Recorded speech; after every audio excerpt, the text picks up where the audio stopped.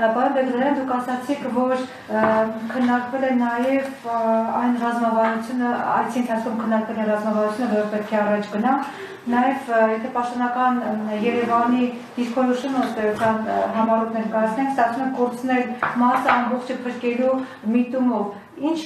ռազմավարական, ինչ ճանապարհ եք տեսնում դուք խնդիրը լուծելու եւ եթե կարելի է նաեւ պարոն Ստեփանյանը եւս այս հարցին անդրադառնա համեցեք։ Շատ լավ, շնորհակալություն իրականում մենք մեր պատկերացումներն ենք ներկայացրել եւ նաեւ բավականին լուրջ մասնագիտական շրջանակների հետ քննարկումներ ենք ունեցել եւ կարող են ռազմավարական մոտեցումները այդ թվում մարտավարական որոշակի լուծումներ ընթացքում շտկվել, փոխվել եւ այլն, բայց այստեղ, ինչպես ես նշեցի, շատ կարեւոր է Հայաստանի Հանրապետության պաշտոնական դիրքորոշումը եւ գործողությունները առանց Հայաստանի Հանրապետության քաղաքական պատասխանատվություն ստանձնելու մեր հավաքական իրավունքների ապահովման տեսանկյունից ես չեմ պատկերացնում, որ մենք կարող ենք հաջողության հասնել, որովհետև միջազգային հարաբերություններում երկրները առաջնահերթորեն նայում են Հայաստանի Հանրապետության պաշտոնական դիրքորոշմանը եւ որևէ երկիր ավելին չի անելու Արցախի ժողովրդի համար, քան Հայաստանի Հանրապետությունը կարող է անել։ Այսինքն այս տեսանկյունից արդեն շատ հստակ խնդիր ունենք մենք լուծելու։ Իսկ Հայաստանի Հանրապետության իշխանությունների դիրքորոշումը, այո, եթե կարճ ձևակերպենք, ձեր նշածն է, կարող է այդպես լինել, բայց նույնիսկ հաշվի առնելով թուրք-ադրբեջանական սպառնալիքները այժմ, նույնիսկ հաշվի առնելով աշխարհակարգի ընդհանուր ցնցումները կամ ճեղքումը, փլուզումը, նույնիսկ այդ պայմաններում մենք ունենք հստակ հավաքական իրավունքներ եւ սա որևէ մեկը չի վիճարկում նույնիսկ հոկտեմբերին, եթե հիշում եք, շուրջ 40 երկիր այդ թվում խոշոր գերտերություններ ստորագրեցին հայտարարություն մարդու իրավունքների խորհրդի հայտարարությունը, որտեղ ամրագրվում էր, ընդգծվում էր մեր վերադարձի իրավունքը։ Նույնը Եվրոպայի խորհրդի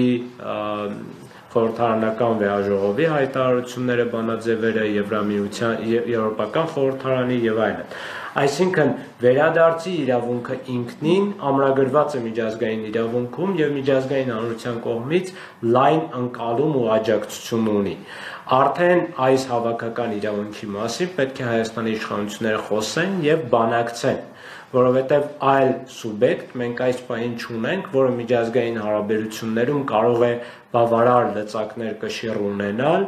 բանակցելու, պայմաններ քննարկելու, առաջ տանելու այս նպատակները։ Իսկ նվազագույն նպատակը պետք է լինի, որ նույնիսկ եթե հիմա մենք գործնական մեխանիզմներ չունենք, վերադառնալու կամ այլ իրավունքներ պաշտպանելու, առնվազն պետք է ամրագրենք այդ իրավունքները, պահանջները դնենք, ընկալելի լինենք միջազգային հանրության համար, աստիճանաբար փորձենք հասնել այդ նպատակին։ Նույնը վերաբերում է մնացած նպատակներին։ Դա ցեղասպանության ճանաչումն է, պատասխանատվության հարցերի բարձրացումն է եւ Ադրբեջան պետության եւ կոնկրետ անձանց, ովքեր ցեղասպանության պատասխանատու են եղել։ Նույնը վերաբերում է մշակութային ժառանգության եւ մեր մնացած սեփականության, մեր գերեզմանների, բնական ռեսուրսների անձեռմխելիության ապահովմանը, որտեղ կրկին Հայաստանի Հանրապետությունը բավականին անելիք ունի։ Այս տեսանկյունից լավ է, որ որոշակի դատական գործընթացներ կան Եվրոպական դատարանում, մարդու իրավունքների Եվրոպական դատարանում, արդարադատության միջազգային դատարանում, բայց սրանք բավարար չեն։ Պետք է նաև քաղաքական հստակ օրակարգ լինի, քաղաքական պահանջներ լինեն եւ իրավական գործիքակազմերը ավելի ինտենսիվ օգտագործվեն։ Շնորհակալություն։ Ընդհանուր առմամբ պետք է համաձայնեմ պարոն Բեգլարյանի դիրքորոշման եւ արտահայտած մտքերին, անկեղծորեն պետք է ասեմ, որ այդ ռազմավարությունը կամ մեխանիզմը ամբողջը կորցնել, մասը կորցնել ամբողջը փրկելու համար մենք մեր աչքի առաջ ցույց է տալիս իր սնանկությունը, որովհետև ընդամենը 2 օր առաջ մենք նոր շանտաժներ եւ նոր սպառնալիքներ ենք լսել Ադրբեջանի ղեկավարի շուրթերից, ինչը նշանակում է, որ կոնկրետ այդ ռազմավարությամբ առաջնորդվելու առաջնորդվելով մենք դեռևս որևէ շոշափելի արդյունքի չենք կարողանում հասնել։ Եվ երկրորդ, ես հարցին մոտենում եմ իրավունքների պաշտպանության տեսանկյունից, իսկ այն ինչ ամրագրված է միջազգային կոնվենցիաներով եւ ընդհանրապես տրված է Արցախի ժողովրդին, չպետք է ինչ որ զիջումների կամ մոռացության տրվի։ Իհարկե համաձայն եմ, որ եթե արկա աշխարհակաղակական իրողությունների պայմաններում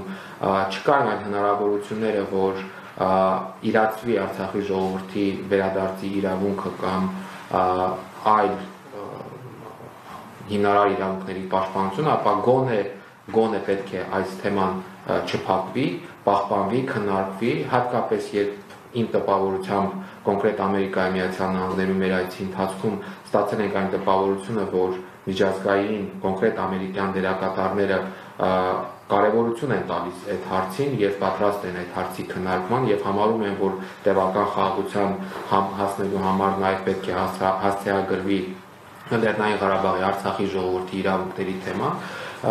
Հայաստան իմ կարծիքով Հայաստանի Հանրապետությունը եւս պետք է հավատարիմ մնա այդ օրակարգին, այսինքն օրակ բանակցային օրակարգից Արցախի ժողովրդի իրավունքների թեման չհանի եւ ինչը ամենակարևորն է կոնկրետ կարճաժամկետ այս բարակայում կարճաժամկետ ռազմավարության կամ մարտավարության տեսանկյունից նաև հասնել այս հարցում միջազգային հումանիտար աջակցության գեներացմանը, որը ցավոք սրտի շոշափելի տեսանկյունից մենք չենք